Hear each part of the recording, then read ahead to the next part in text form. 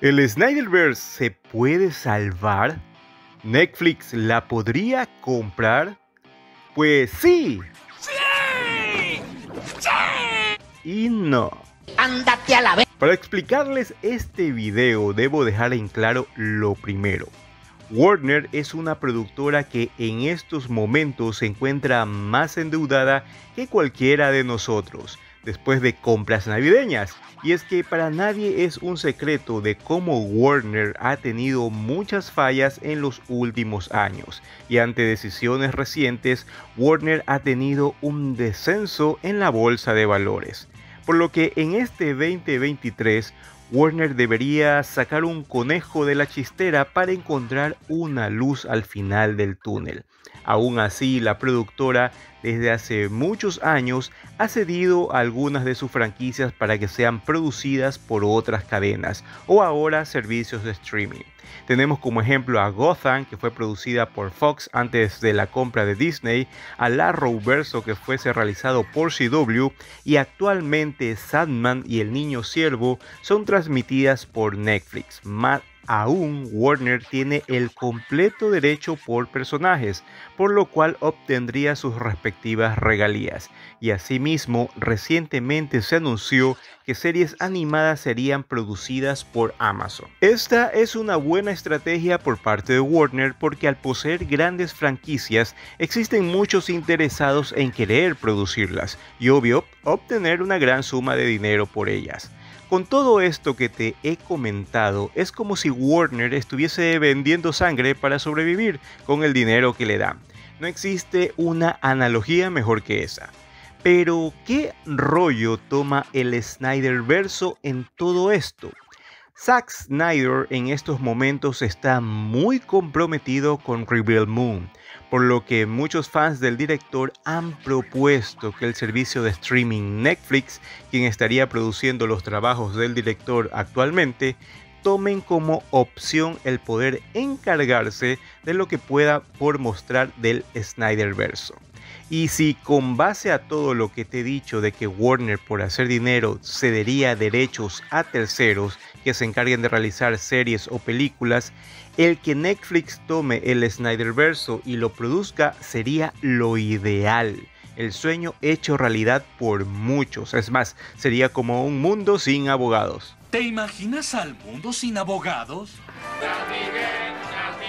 ¡Ay, qué horror! Pero existe una piedra en el camino en esta tentativa fórmula Snyderverse Netflix y esa piedra en el camino son cada uno de los personajes que forman la liga. Ya que de por sí en estos momentos tener tres actores en función con el rol de Batman es algo que se cuestiona mucho el estudio, por lo tanto tener a sus personajes principales en otra cadena y que le hagan competencia directa a lo que planea mostrar James Gunn sería como hacerse los goles en la misma portería. Y adicional a eso ni Cavill, ni Gadot, Affleck o demás actores que han sido parte del Snyderverso darían un paso en algo que al menos hasta ahora es una total incertidumbre. Añadido a ello, Netflix no es que cuente con las cualidades para llevar a cabo un blockbuster como lo es el Snyderverso.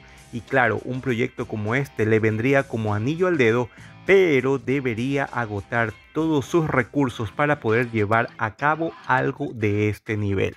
Y obvio, nadie nos niega a que sigamos haciendo campaña en redes sociales por apoyar la reestructuración del Snyderverse. Sin embargo, como ya les he explicado a lo largo de todo este video, es que simple y llanamente existen cosas que van mucho más allá de nuestro propio fanatismo, como lo es la parte económica y la parte de marketing referente a lo que Warner en estos instantes quiere hacer. Y como les dije, quiere prácticamente salir del bache en el que se encuentra, ya que ellos están muy conscientes que el Snyderverso es la gallina de los huevos de oro y que en determinado instante deben sacar a la luz algo referente a ello, porque sin duda alguna tiene mucho fanatismo el cual está esperando porque estas producciones más que todo puedan finalizar como deberían ser y creo que todos estamos muy de acuerdo con ello. Más aún, Snyder ha respondido ante todo este movimiento del Snyderverso en Netflix. En la red social Vero, un fanático de Zack Snyder llamado Jacob Torres publicó un enlace a un video en el que se explicaba el nuevo movimiento que deseaba llevar el Snyderverse a Netflix. Esta publicación ha permitido demostrar que el propio cineasta es consciente de la demanda de sus seguidores. De hecho, le ha dado me gusta a lo que se ha publicado. Como mínimo, el antiguo director de DC Comics está al tanto de este nuevo movimiento. Pero otra cuestión es si lo aprueba plenamente o si simplemente está apoyando a sus seguidores por respeto. Esa es la duda que se queda en el aire.